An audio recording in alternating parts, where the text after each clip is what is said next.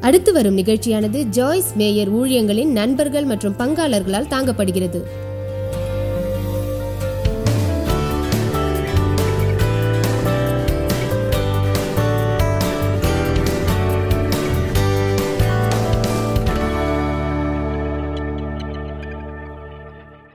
பிதாவே உமது வார்த்தைக்காக நன்றி. இது எனக்கு அற்புதமானது தேவனே. நாங்கள் சந்திக்கும் எல்லா பிரச்சனைகளுக்கும் ஒவ்வொன்றிற்கும் உமது வார்த்தையில் விடை உள்ளது. உள்ளபடியே சொல்லப்போனால் நீர் வழி நடத்தும்படியாக நாங்கள் இருந்தால் எங்களுக்கு மன அழுத்தம் வராது. இந்த வார இறுதியில் நீர் எங்களோடு பேச விரும்புகிறோம். எங்களுக்கான மாற்றத்தை அறிவிக்கவும்.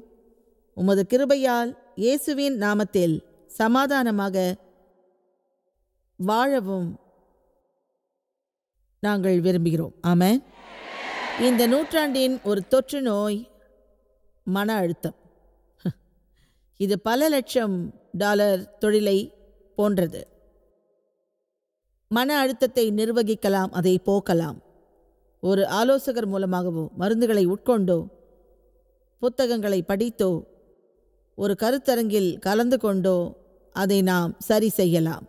அதனால் ஏற்பட்ட பாதிப்புகளை நீங்கள் அறிவீர்கள். எனது ஆராதனை குழுவிடம் அது பற்றி போதிக்கப் போவதாக சொன்னேன். அவர்கள் சொன்னார்கள் அதை நாங்கள் ஆவலோடு எதிர்பார்க்கிறோம் என்று. நான் அதை பற்றி புரிந்து கொண்டது என்னவென்றால் நாம் எப்போதும் மன அழுத்தத்தோடு வாழ வேண்டும் என்பது தேவனின் விருப்பம் அல்ல அது தேவனின் விருப்பம் அல்ல என்பதை நம்மில் அநேகம் பேர் அறிந்துள்ளோம். சரிதானே? எனவே நமது கலாச்சாரத்தில் அது ஒரு தொற்று நோயாகும். அந்த கலாச்சாரத்தில் நாம் வாழ்வதால் அதை நாம் ஏற்றுக்கொள்ளத்தான் வேண்டும் என்பது கட்டாயம் அல்ல. சொல்வதை கவனமாய் கேளுங்கள். இல்லையென்றால் எல்லாவற்றிலும் நீங்கள் மன்னிப்பு கேட்பீர்கள். ஏனென்றால் இன்றைய உலகம் அப்படித்தான் உள்ளது. ஆனால் அது உங்கள் உலகமாக இருக்க வேண்டிய ஒரு அவசியம் இல்லை. ஆமே உள்ளபடியே மீண்டும் அதை நான் சொல்கிறேன். அதாவது இன்றைய உலகம் ஒரு விதமாக உள்ளது. ஆனால் அது உங்கள் உலகமாகவோ என் உலகமாகவோ இருக்க வேண்டிய ஒரு அவசியமில்லை. ஒரு விஷயம் சொல்கிறேன். உங்கள் வாழ்விலோ அல்லது என் வாழ்விலோ ஒரு மாற்றம் ஏற்பட வாய்ப்பிருந்தால் அதற்கு நாம் பொறுப்பு ஏற்க வேண்டும். ஆனால் தேவன் இல்லாமல் எதுவும் மாறாது என்று நான் சொல்லவில்லை. நாம் செய்ய வேண்டிய ஒரு காரியம் எல்லா சூழ்நிலையிலும் முதலில் நாம் தேவனிடம் செல்ல வேண்டும். ஆனால் தேவன் என்ன செய்வார்? எதை செய்யும்? ஆற்றலை நமக்கு தருவார் என்பதில் நாம் குழப்பமாக உள்ளோம் என்பது உண்மை. நாம் தேவனோடு இப்போது பங்கு வகிக்கிறோம். நாம் தேவனின் பங்குதாரர்கள். அநேக நேரங்களில் மக்கள் நினைக்கிறார்கள் நாம் எதுவுமே செய்யாமல் இருந்தாலும் நமது ஜபத்தின் மூலம் தேவன் நமக்கு எல்லாம் செய்வார் என்று நினைக்கிறோம். அல்லது நாம் செய்யும் அற்ப விஷயங்களையே நாம் தொடர்ந்து செய்வோம். இப்போது நான் தேவனிடம் எதிர்பார்ப்பது என் வாழ்வில் நான் விதைத்ததற்கான அறுவடையை தர வேண்டும் என்பதுதான். நான் சொல்வது புரிகிறதா? எனவே நீங்கள் ஜெபிக்கும்போது உங்கள் பிரச்சனையின் காரணம் என்ன என்பதை தேவன் சொல்வார். அதை உங்கள் காதுகளை திறந்து நீங்கள் கேட்க வேண்டும். சில நேரங்களில் நம்மால் அதற்கு எதுவும் செய்ய முடியாது. அந்த நேரத்தில் தேவன் ஒருவர் எல்லாவற்றையும் செய்வார். அநேக நேரங்களில் நம் பிரச்சனைகளின் காரணம் என்னவென்றால் நேர்மையாக சொல்கிறேன் நாம் போதிய பொது அறிவு இல்லாமல் வாழ்கிறோம். வேதம் கூறும்படியாக நாம் அறியாமையில் வாழ்கிறோம். நாம் எதிலும் ஞானத்தோடு இருப்பதில்லை. நாம் வாழுகின்ற கலாச்சாரத்தின்படியே நாம் காரியங்களை செய்கிறோம். அதை எல்லோரும் செய்வதால் நாமும் செய்கின்றோம். எனவே எல்லா நேரமும் தேவனின் வார்த்தையை நாம் பார்க்க வேண்டும். அதை திரும்பி பார்க்க வேண்டும் நண்பர்களே. நீதிமொழிகள் முழுவதும் ஞானம். எனவே தேவனின் வார்த்தையை அறிவோம். நம்மை சுற்றி நடக்கும்படியான வாழ்க்கையை நாம் வாழப்போவதில்லை என்று ஒரு பொறுப்பை ஏற்போம். அதோடு கூட பரிசுத்தாவியின் தலைமையில் நமது எல்லா தீர்மானங்களையும் எடுப்போம். நாம் ஆவியால் வழிநடத்தப்பட்டால் சமாதானத்தோடு வாழ்வோம் என்பதை எவ்வளவு பேர் விசுவாசிக்கின்றீர்கள்? சரி. இந்த வார இறுதியில் நடைபெறும் கூட்டத்தில் கையில் ஒரு கயிற்றை வைத்துக்கொண்டு எந்த ஒரு விதையையும் நான் செய்யப் போவதில்லை. அதற்காக யாரையும் அழைக்கப் போவதும் இல்லை. ஆனால் ஒரு உண்மையை சொல்லப் போகிறேன். சில நேரங்களில் மன அழுத்தத்தை சரி செய்வதற்கான வகுப்பிற்கு மக்கள் செல்வார்கள். அந்த சமயத்தில் நான் மாறுவதற்கு தயாராக இருக்கிறேன் என்ற மனநிலை அநேகம் பேருக்கு இருக்காது. என் பிரச்சனைகளை தீர்ப்பதற்கு யாராவது ஒருவர் தேவை என்று அவர்கள் நினைப்பார்கள். அப்படி இங்கு யாராவது நினைத்தால் இங்கே நாங்கள் முகாமிட்டிருப்பது பயனற்றதாகும். நீங்கள் தேவன் சொன்னதை செய்யாவிட்டால் அல்லது தேவன் செய்ய வேண்டாம் என்று சொன்னதை நீங்கள் செய்தால் நான் மட்டுமல்ல தேவனாலும் உங்கள் பிரச்சனையை தீர்க்க முடியாது. இதை நீங்கள் உணர வேண்டும். ஏனென்றால் இதை நான் உண்மையிலேயே உணர்கிறேன். நமது ஜபத்தினால் மட்டும் தேவன் எல்லாவற்றையும் நிகழ்த்தி விட மாட்டார். வெளிப்படையாக அநேக நேரங்களில் இது நிகழக்கூடும். ஏனென்றால் தேவன் சொன்னதை நாம் செய்யாமல் இருக்கும் பட்சத்தில் தேவன் தமது பங்கை செய்ய மாட்டார். ஜெபம் மட்டும் தேவனோடு பேசுவதாகாது. எனவே தேவன் சொல்வதை நாம் கேட்டால் அவர் நம்மோடு பேசுவார். நாம் பேசுவதைப் போலவே அவர் நம்மோடு பேச மாட்டார். ஆனால் பல விதங்களில் தேவன் அதை வெளிப்படுத்துவார். நீங்கள் கேட்க தயாராயிருந்தால் இன்று இரவு என் குரலில் அவர் உங்களோடு பேசுவார். இதை கவனியுங்கள் அவர் வார்த்தை மூலம் உங்களோடு பேசுவார் ஒரு குழந்தை மூலமாக உங்களோடு பேசுவார் ஒரு சூழ்நிலை மூலமாக உங்களோடு பேசுவார். அவர் எல்லா வழிகளிலும் உங்களோடு பேசுவார். எனவே நாம் ஜெபித்து கீழ்ப்படிவோம். இந்த இடத்தில் உள்ள எந்த ஒரு நபரும் அல்லது இந்த நிகழ்ச்சியை டிவியில் பார்க்கும் எவரும் மன அழுத்தத்தை பிறருக்கு கொடுத்துவிட்டு அதற்கு பதிலாக சமாதானமுள்ள வாழ்க்கையை பெற முடியாது. எனவே அந்த மேஜிக் ஃபார்முலாவை ஒதுக்கிவிட்டு உங்கள் மன அழுத்தத்திற்கான உண்மையான காரணத்தை முதலில் அறிந்து கொள்ள முயற்சியுங்கள். தேவனின் உதவியோடு அதை மாற்றுவதற்கான விருப்பத்தோடு நீங்கள் இருங்கள். அதை மீண்டும் மீண்டும் சொல்வேன். அவர் இல்லாமல் நாம் எதுவும் செய்ய முடியாது. எனவே அவரது ஆதரவு இல்லாமலேயே நமக்கு எல்லாம் நடக்கும் என்று நாம் நினைப்பது மிக தவறு. ஆ? எனக்கு என்ன தெரியும்? அது வேத வசனத்துக்கானதுன்னு நினைக்கிறீங்களா? நான் அப்படித்தான் நினைக்கிறேன். அது குறிப்பாக அப்படி சொல்லி இருக்காது. ஆனால் தேவன் கேட்பது நமது அக்கறையை நமது பொறுப்பை அல்ல. அதுதான் உண்மை. அவர் மனிதர் மூலம் கிரியை செய்கிறார். நான் என்ன செய்வதற்கு தேவன் விரும்புகிறார்? என்பதற்காக ஜெபிப்பேன். ஆனால் அது பற்றி அவர் எதுவும் சொல்லவில்லை என்றால் அதை அவரிடமே நான் கேட்பேன். நாம் எதிலுமே மாறாமல் இருந்தால் நமது ஜெபத்தின் மூலம் தேவன் எல்லாவற்றையும் நமக்காக செய்ய மாட்டார் என்பதை நீங்கள் புரிந்து கொள்ள வேண்டும்.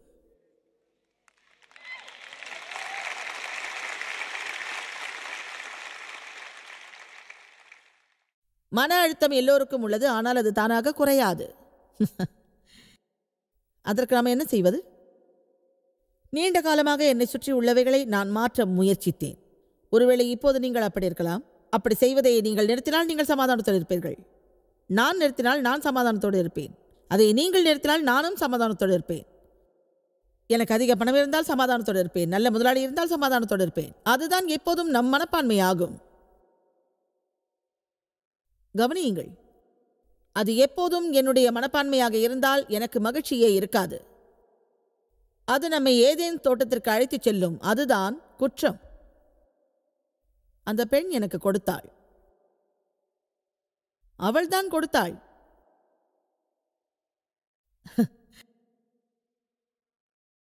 மன்னிக்கவும். ஆண்கள் எப்போதும் வீட்டுத் தலைவனாக இருக்கவே விரும்புகிறார்கள்.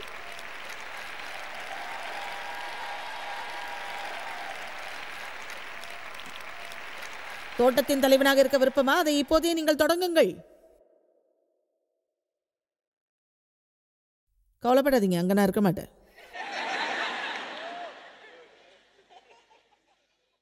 அந்த கருத்தை நாம் அகற்றும் வரையில் உள்ளபடியே நாம் சொல்வோம் நாம் சமாதானத்தை விரும்பினாலும் அது நமக்கு கிடைக்காது. என் சூழ்நிலை மாறினால் நான் சமாதானத்தோடு இருப்பேன். உங்கள் சூழ்நிலை. நான் யாரையும் அதேரியப்படுத்த விரும்பவில்லை. உங்கள் சூழ்நிலைகள் மாறலாம் ஆனால் நீங்கள் மாறக்கூடாது. ம்? அதாவது நான் சொல்வது புரிகிறதா? முன்பு உங்களிடம் இருந்தது விலகி போகும்.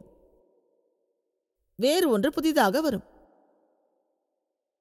இந்த உலகில் எப்படி இருப்பதென்று நாம் அறிய வேண்டும். அறிந்தது போல நடிக்கக்கூடாது நம் அனைவரிடமும் மன அழுத்தங்கள் உள்ளது. அது குறையாத பட்சத்தில் நமது நடவடிக்கை என்ன? அதற்கு இரண்டே வழிகள்தான் உண்டு என்று நான் நினைக்கிறேன். நாம் மாறும் வரை நமது மன அழுத்தத்தில் நீடிக்க வேண்டும். அது ஒரு வழி. அந்த வழியை உங்களில் சிலர் தேர்வு செய்யக்கூடும். இன்னொரு வழி அது உங்களை வந்து பாதிக்காதபடி நீங்கள் மிகவும் எச்சரிக்கையோடு இருக்க வேண்டும். நம்மை சுற்றி உள்ளது நமக்கு வர வேண்டும் என்பது இல்லை. ஆமேன். சமாதானத்தை ஒரு அமைதியான இருதயத்தோடு ஒப்பிடுகிறார்கள். அதை நான் நேசிக்கின்றேன். அது ஒரு அமைதியான இருதயம். இயேசுவை சுற்றிலும் மன அழுத்தத்திற்கான சூழ்நிலைகள் இருந்தது. பலரால் அவர் மறுக்கப்பட்டார். உங்களில் சிலருக்கு அது இப்போது நேர்ந்திருக்கலாம். மன அழுத்தத்திற்கு இடம் கொடுத்திருப்பீர்கள். தீய பழிகள் உங்கள் மீது சுமத்தப்பட்டிருக்கும் புகார்கள் வந்திருக்கும் அதில் மோசமான நோக்கங்கள் இருந்திருக்கும் ஆனால் அவை எதுவுமே உண்மை அல்ல. பொய்யான புகார்கள் மன அழுத்தத்தை தரும். எனவே நாம் நல்லவர்கள் என்பதை நிரூபிக்க வேண்டும். இயேசு அதை செய்யாமல் இருந்ததாக யாராவது அறிந்திருக்கிறீர்களா? அவர் சீஷர்களுக்கு அநேக மாற்றம் தேவைப்பட்டது. இந்த உலகிற்கு சுவிசேஷத்தை அறிவிக்க வேண்டி அவர்களை அவர் தயார்படுத்தினார். அதற்கு குறைந்த நேரமே அவருக்கு இருந்தது. சில சமயம் நம்மை சுற்றி இருப்பவர்கள் நமக்கு செய்ய வேண்டியதை செய்ய மாட்டார்கள். அதனால் நமக்கு மன அழுத்தம் வரும். எல்லா நேரமும் நீங்கள் செய்ய வேண்டியதை தொடர்ந்து நான் சொல்லுகிறேன். நான் சொல்வதால் அதை நீங்கள் செய்யாமல் இருக்காதீர்கள். எல்லா இடத்திலும் பெரிய கூட்டம் இயேசுவை பின்தொடர்ந்தது. அவர்கள் எல்லோருமே அவரிடம் விரும்பியது அற்புதம் சுகமளித்தல் மற்றும் வேறு சில உதவிகளை. நான் அடிக்கடி சொல்லுவேன். என்னை தேடி வருபவர்கள் எதையாவது என்னிடம் எதிர்பார்ப்பார்கள் என்று. சில தாய்மார்கள் அப்படி நினைப்பார்கள். காரணம் அவர்கள் கணவர்கள் எதையாவது எதிர்பார்ப்பார்கள் குழந்தைகள் எதிர்பார்ப்பார்கள். உங்கள் பெற்றோர்கள் உங்களை அழைத்து எதையாவது கேட்பார்கள். உங்கள் மாமியார்கள் எதையாவது எதிர்பார்ப்பார்கள். எல்லோருக்கும் நம்மிடமிருந்து ஏதாவது வேண்டும். ஆனால் என்னிடம் எதுவும் மிச்சமில்லை. உங்களில் எவ்வளவு பேர் அதை உணர்கிறீர்கள்? நாம் இயேசு எப்போது மக்களுக்காகவே வாழ்ந்தார். அதில் அவருக்கு எல்லைகள் இருந்தது. நாளைய கூட்டத்தில் அந்த எல்லைகளை பற்றி நாம் பேசப் போகிறோம். தெரியுமா? அண்டை வீட்டுக்காரரின் நாய் உங்கள் வீட்டை சுற்றி வருவது உங்களுக்கு பிடிக்காவிட்டால் ஒரு வேலி போடுவது நல்லது.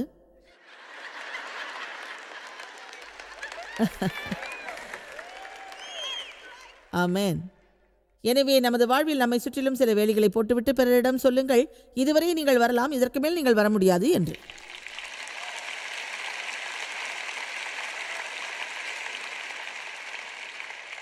இயேசுவின் சீஷரில் ஒருவன் முப்பது வெள்ளிக்காசுகளுக்காக அவருக்கு துரோகம் இழைத்தான். அப்பொழுது நீ இயேசுவின் சீஷரில் ஒருவன்தானே என்று ஒருவன் கேட்க பேதுரு மூன்று முறை மறுதளித்தான் பேதுரு இயேசுவின் நல்ல நண்பன்.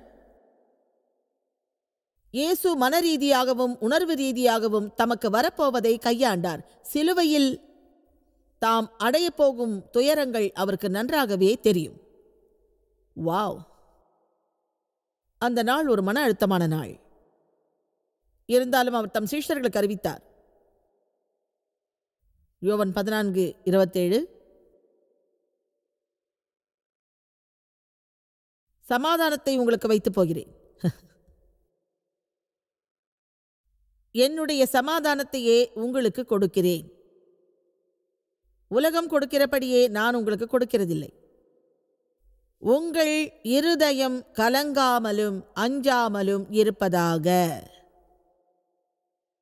நீங்கள் கொதிப்படையவும் கலங்கவும் இடம் கொடுக்காதீர்கள்.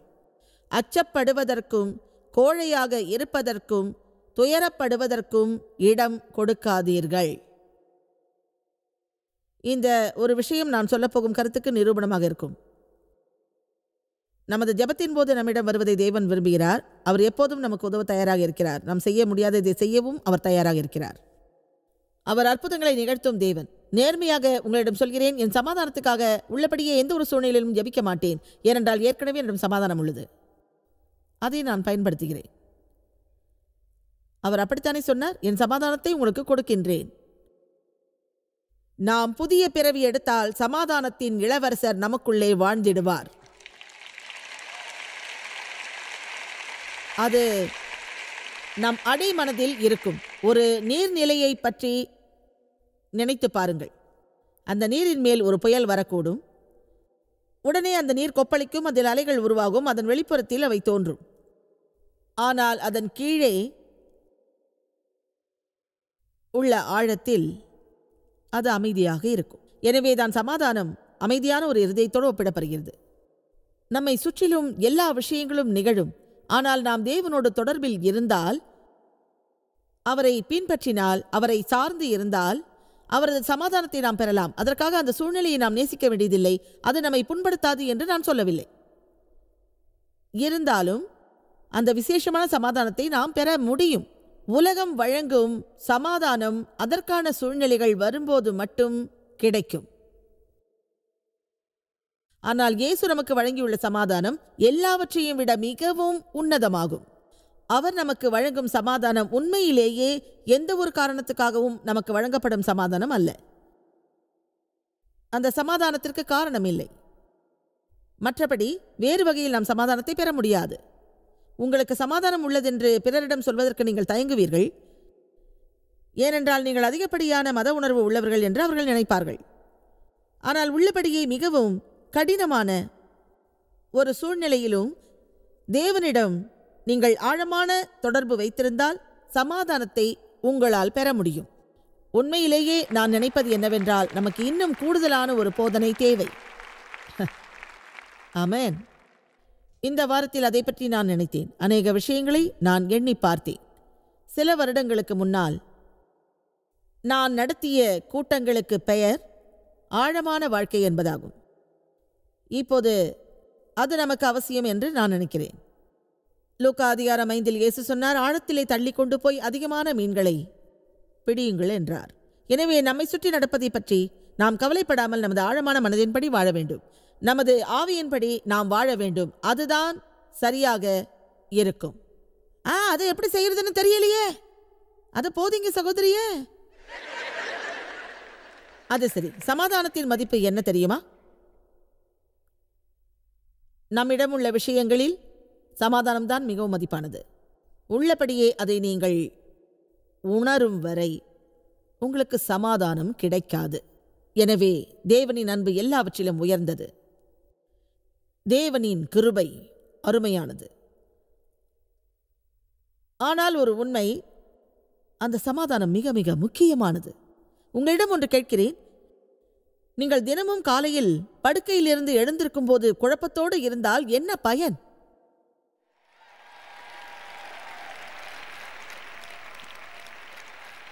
அதனால் தான் மன அழுத்தத்தோடு உள்ள சில மனிதர்கள் படுக்கையை விட்டு எழுந்திருக்க தயங்குகிறார்கள். அவர்கள் படுக்கையிலேயே இருக்கிறார்கள். ஏனென்றால் இன்னொரு நாளை அவர்கள் சந்திக்க விரும்பவில்லை. ஆனால் அது சரியல்ல. வாழ்விலிருந்து ஒளிந்து கொள்வதால் நமக்கு பலன் இல்லை. நம் பிரச்சனைகளை நாம் தவிர்க்க கூடாது. எனவே இயேசு பிரச்சனைகளை கையாண்டது போல் நாமும் கையாள வேண்டும். மன அழுத்தத்தோடு இருந்த என் அனுபவம் பற்றி உங்களோடு பகிர்கிறேன். எனவே நான் என்ன பேசுகிறேன் என்பதை என்னால் அறிய முடியும். பல ஆண்டுகள் என் தந்தையால் நான் தவறாக நடத்தப்பட்டேன். பிறகு முதலாவதாக வந்த ஒருவரை மனம் முடித்தேன் காரணம் வேறு யாரும் என்னை ஏற்க மாட்டார்கள் என்று நினைத்தேன். அவர் ஒரு ஏமாற்றுக்காரர் மோசமானவர்.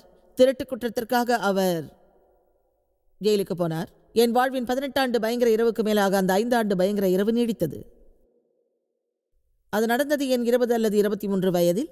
நான் குழப்பத்தோடு இருந்தேன். அநேக மக்கள் வெளியே பார்ப்பதற்கு நன்றாக தெரிவார்கள். ஆனால் உள்ளே குழப்பத்தோடு இருப்பார்கள். ஆமே அந்த ஒரு அனுபவம்தான் என் வாழ்க்கையில் முரண்பாட்டை ஏற்படுத்தியது. அதன் முடிவு இப்போது நான் தேவனின் வார்த்தையில் தீவிரமாக உள்ளேன். ஏனென்றால் அதுதான் என்னை மாற்றியது. அதை நான் படித்ததால் மட்டுமல்ல அதை நான் கடைபிடித்ததால் நேசித்ததால் கீழ்ப்படிந்ததால் நடந்தது. அது ஒரு நாற்பது ஆண்டு கால பயணம். உங்களிடம் ஒரு விஷயம் சொல்கிறேன். தேவனின் வார்த்தை செய்ய சொன்னதை நீங்கள் செய்தால் உங்கள் வாழ்வில் அது நிச்சயம் கிரியை செய்யும். ஆனால் அது என்னால் முடியாது என்று சொல்லாதீர்கள். ஏனென்றால் நாம் விருப்பத்தோடு இருந்தால் தேவன் செய்ய சொன்ன எதையும் செய்வதற்கான ஆற்றலை நமக்கு தருவார். ஆகவே அந்த நேரத்தில் நான் கவலைப்பட்டேன் பயத்தோடு இருந்தேன் கோபமாக இருந்தேன் பாதுகாப்பின்றி இருந்தேன் என் தகுதி அறிய விரும்பினேன் என்னை பற்றி நான் நல்லதை உணரவில்லை என் பணியில் உள்ள மதிப்பை அறிய நான் விரும்பவில்லை. முடிவில் நான் இறக்க விரும்பினேன். அதோடு என் பிரச்சனை முடியும் என்று நினைத்தேன். இங்கே யாருக்காவது அந்த அனுபவம் உள்ளதா? ஆமேன். என் மன அழுத்தத்தால் உடல் ரீதியாக நான் பாதிக்கப்பட்டேன். நான் எப்போதும் சுமையோடு இருந்ததால் என் தனிப்பட்ட தொடர்புகளில் எப்போதும் எனக்கு பிரச்சனைகள் வந்தது. எல்லா நேரத்திலும் நீங்கள் மன அழுத்தத்தோடு இருந்தால் முன்னேறுவது கடினம். அதை நீங்கள் அறிவீர்களா? தேவையற்ற விவாதத்தில் அது முடியும். அப்போது நான் ஒரு கிறிஸ்தவராக முழுநேர ஊழியத்தில் இருந்தேன். ஆனாலும் பிரச்சனைகள் தொடர்ந்து வந்தது. நீங்கள் காப்பாற்றப்பட்டதால் உங்களுக்கு பிரச்சனைகள் வராது என்பது நிச்சயமல்ல. எனவே நாம் மட்டுமல்ல நமது ஆவியும் மீட்கப்பட வேண்டும். சொல்லப்போனால் அது புதிய பிறவியில் நிகழத்தக்கதாகும். அதே சமயம் நமது ஆத்மாவும் காப்பாற்றப்பட வேண்டும். அதுதான் நம் மனம் நமது விருப்பம் நம் உணர்ச்சிகளாகும். அது நம் எண்ணத்தை பொறுத்தது நமது செயலை பொறுத்தது நாம் மேற்கொள்ளும் தீர்மானத்தை பொறுத்தது. அதனால் யாக்கோபு ஒன்று இருபத்தொன்றை நான் நேசிக்கிறேன். அது சொல்கிறது உங்கள் ஆத்துமாக்களை ரட்சிக்க வல்லமையுள்ளதாய் இருக்கிற வசனத்தை தாழ்மையுடன் ஏற்றுக்கொள்ளுங்கள் என்று. தேவனின் வார்த்தை பற்றிய ஒரு விஷயத்தை இன்று உங்களோட பகிர விரும்புகிறேன். அது உங்கள் மனதை புதுப்பிக்கும். தொடர்ந்து இங்கே நீங்கள் இருந்தால் உங்கள் மனம் மாறுதல் பெறும். அதாவது சில விஷயங்களை பற்றி நீங்கள் சிந்திக்கும் விதம் மாறுதல் பெறும். அந்த வகையில் உங்கள் சிந்தனை மாறும்போது நீங்கள் பேசுகின்ற விதமும் மாறுதல் பெறும். நீங்கள் சிந்திப்பதும் பேசுவதும் மாறும் பொழுது உங்கள் நடவடிக்கை மாறுதல் பெறும். பிறகு அதனால் உங்கள் குணமும் மாறுதல் பெறும். அதன் பிறகு இங்கு உள்ள எதுவும் இனிமேலும் உங்களை கட்டுப்படுத்த முடியாது.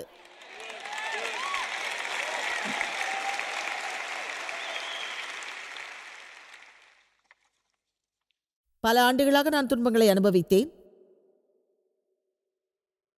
எது எப்படி இருந்தாலும் சமாதானத்தோடு இருப்பதென்று தீர்மானித்தேன். சற்று இடைவெளி விட்டு ஒரு உண்மையை சொல்கிறேன். எனக்கு தேவ் ஒரு மகத்தான எடுத்துக்காட்டாவார். நீங்கள் ஒரு வித்தியாசமானவராகவும் சமாதானம் உள்ள மனிதராகவும் இருக்கலாம். உங்களுக்கு மன அழுத்தத்தில் பிரச்சனை இல்லை என்றால் இந்த போதனை உங்களுக்கு தேவையில்லை என்று நினைக்கலாம். ஆனால் இது உங்களுக்கு தேவை. ஏனென்றால் உங்களுக்கு மன அழுத்தத்தில் பிரச்சனை இல்லாவிட்டாலும் மன அழுத்தத்தோடு உள்ளவர்களை கையாள வேண்டியிருக்கும். அது தேவையில்லை என்று நினைக்கலாம். இருந்தாலும் அவர்களிடம் கேட்பீர்கள் உங்கள் பிரச்சனை என்ன? அதை பற்றி நீங்கள் ஏன் குழப்பமடைய வேண்டும்? அதிலே நீங்கள் ஏன் அக்கறை காட்ட வேண்டும்? அவர்கள் அப்படிப்பட்டவர்கள்தான். தேவி எனக்கு ஒரு நல்ல எடுத்துக்காட்டு. அவரால் நான் சமாதானமாக உள்ளேன். ஏனென்றால் நான் வாழ்ந்த அந்த சூழ்நிலையில் சமாதானம் என்ன என்றே எனக்கு தெரியாது. உங்களில் எவ்வளவு பேர் கோபத்தோடும் சீற்றத்தோடும் வெறியோடும் உள்ள சூழ்நிலையில் வளர்ந்திருக்கிறீர்கள்? அதாவது சமாதானம் என்ன என்பதையே அறியாமல் இருந்திருக்கின்றீர்கள்? உங்களை பற்றி எனக்கு தெரியாது. நான் முதலில் சமாதானத்தை அடைந்தபோது அது சலிப்பாக இருந்தது. நேர்மையாக சொன்னால் நான் குழப்பமில்லாமல் இருந்தால் எதை பற்றியும் நான் கவலைப்பட வேண்டியதில்லை.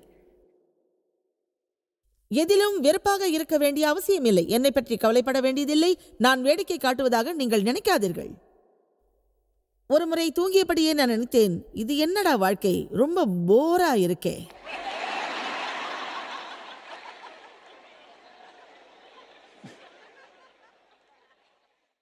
இந்த நற்செய்தியோடு நீங்கள் போக விரும்பினால் உங்களுக்கு ஒரு அதிர்ச்சி வைத்தியம் தேவைப்படும். தேவால் அதை தாங்க முடிந்தால் நானும் அதை தாங்குவேன்.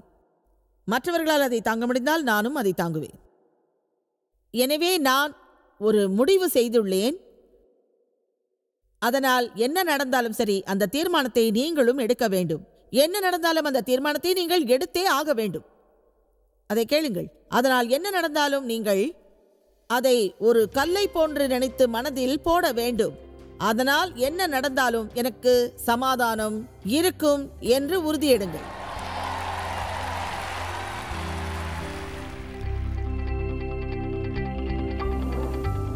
எனவே நீங்கள் அதிக சுமையோடு மன அழுத்தத்தோடு வாழ வேண்டியதில்லை.